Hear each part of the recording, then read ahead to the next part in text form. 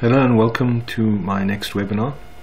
In this webinar I'd like to talk about um, enabling embargoes using DSpace 5.5.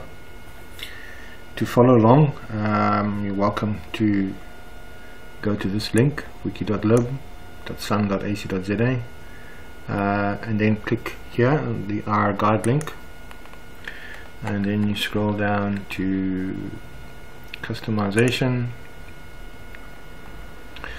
now in this instance the um, embargo is mostly um, managed by the librarians. So I've put the uh, customization of that in the operational guide. So you click on the operational guide there and then you click on the embargo index there and then the actual embargo link there. Alright so before beginning I just want to mention that um, embargoes are a risk. Um, if you do not do this properly uh, your embargoes might be available publicly. So I'm just warning you that you proceed at your own risk and that we cannot accept any responsibility for data loss or corruption. And before you um, enable embargoes it's best to test this embargo and become intimately familiar with how it works on your development system or spare infrastructure Okay, um, the ability embargo, to embargo the items was introduced with DSpace 1.8x and then radically modified with DSpace versions 3x. Um, and now with um, 5.5, um, um, embargoes are now activated during submission. Uh, and that submission allows you to have a simple or advanced form which I'll go through later on. Um, and then there under point 4 or paragraph 4 um, if you want to do retro retrospective embargo activation and deactivation um, you need to use item and collection permissions which is called policy management with DSpace uh, and that um, I will do a video of later on and then once you have the embargoes enabled you want to enable the request to copy function as well. And I'll have a video of that as well. Alright there were um, there was an embargo routine or process um, with DSpace versions 1.8 and 3 so to migrate those embargoes to the new embargo system uh, I have a wiki page there the pre 3.0 embargo migration routines and then um, I've also added on what was discussed on the mailings people wanted reports of the embargoes um, and there are some scripts and tips on how to create reports for the embargoes. Okay so for the for this um, uh, webinar or um, tutorial I'm going to click on the DSpace 5x link and uh, set up my local DSpace uh, instance to use embargoes Again, uh, just a warning about the change of embargoes, uh, the fact that there's now a basic and advanced policy method for embargoes. Okay. So the first step is to decide whether you want to use the simple or advanced embargo form. We have elected to use the simple one. Um, and uh, to enable or disable that, we have to modify the DSpace config file so we're going to log into our server my local server uh, and then we're going to try and modify that. So let me log in there quickly. If you remember from the previous videos this is the address and then 09 Ubuntu 09 to log in. Okay so now we're going to modify the um, DSpace config file but we're going to modify the um, source uh, part um, you're going to modify it in the source code and then recompile. So we want to look for that step that says enable advanced form and make sure that it is not enabled. Enable add advanced. Okay so here we are. Here it is here. So this defaults to false so we're going to leave it like that. Uh, to, to, to use the uh, simple form because it defaults to false there. So we just leave that as it is.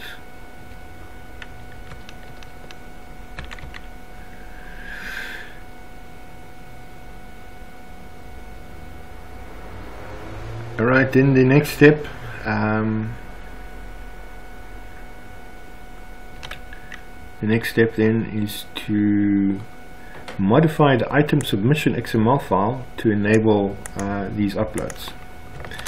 Okay before we go there I just want to discuss the two options there. Um, there's one option where you simply uh, have what they call access step and that embargoes the whole item in metadata everything included. And then there's an upload with embargo step which just does uh, restrictions on the bitstream level um, so for our repository we do restrictions simply on the bitstream level. So um, I'm just going to demonstrate that. And here's the uh, configuration example but let's do it on, on, a, on, a, on, a, on a newly installed system. And we do this to modify the submission item submission XML file. And we copy and paste that in there. And now we must look for the default steps and uh, enable under the default submissions. There uh, step definitions ID collection again further uh, ID sample okay. Uh, it's quite a, there's quite a lot of information in this yeah. So we want to look at the traditional submission process well the default one uh, which is defines the default uh, thing so we go beyond this processing uh, we go beyond this progress bar uh, step 2 okay step 2 we gather describe the item. Step 3 now this is if you're going to embargo the whole item this is the step you enable by removing the, that those comment that um, those uh, characters there and removing these characters there. That will enable that but we're not going to do by item access we're going to do it by upload. So uh, we want to enable this one here. We want to enable the upload with embargo. Upload with embargo features and then here there delete that. But then it says here we must disable the previous one. So we disable this step here using the same um, characters there and finish off there by closing it there. So now this upload step without embargo is disabled. Now we upload with embargo and this is enabled. So there we are. The def it's done. So now all submissions will have an embargo uh, an embargo feature for setting a date limit on bitstreams. So we just save that, Control O, and we write that out. Okay, so let's see an example there. I commented it out step 4, the upload there, it's commented out there, you see there. I commented out with those two.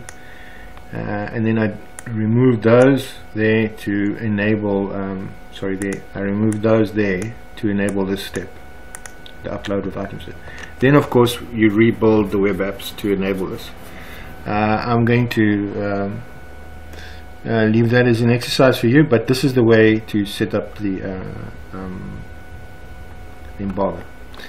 then um, I suggest look at the um, documentation. It has uh, um, it has um, examples of uh, screenshots sorry. It has screenshots of uh, how to use this embargo um, or how the submission process will look. So um, if we scroll down there they've got embargo dspace embargo functionality. They talk about it there. Uh, dspace config enable there then enabling the form the difference between the so here is the screenshot uh, with the access step and you see here it simply says embargo until this date and you must put it in that format and it embargoes the whole item okay? So what we've done is the embargo with upload step. This one is enabled here now. Now we when you upload the file there you're required to select the file and then give it a description. And then during the upload also give it a, a date and up to when you give a date until it's embargoed until that date. And then you can give a reason for the embargo there as well. So we've selected this one when you do the the upload step there. You see the upload step in green?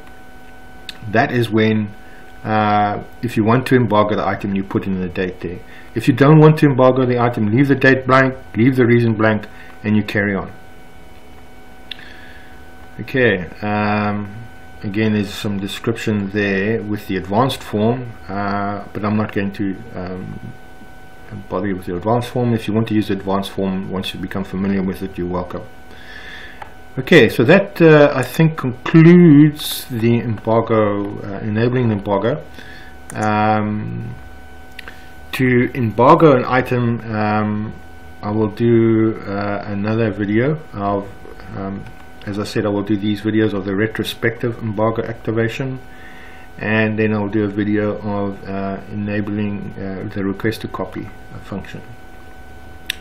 Just for those um, who have old systems and are um, thinking of um, moving to 5.5 um, there I've added a page for how to first of all check and lift the old embargoes alright and then run the embargo migration routine here. Right but to be sure that everything is working correctly um, I suggest that you try here with these embargo reports try and extract a embargo report. This code might be outdated because now we have dspace uh, 5x not 3x so um, if anybody out there has an updated SQL query for that that'd be great. Um, I will um, add it to the wiki if they send it to me. And then for dspace versions 1 at x there you can um, find the embargo about that. Okay. All right thank you very much. And that concludes my uh, demonstration or uh, tutorial on how to enable embargoes with dspace 5.5 thank you Bob. goodbye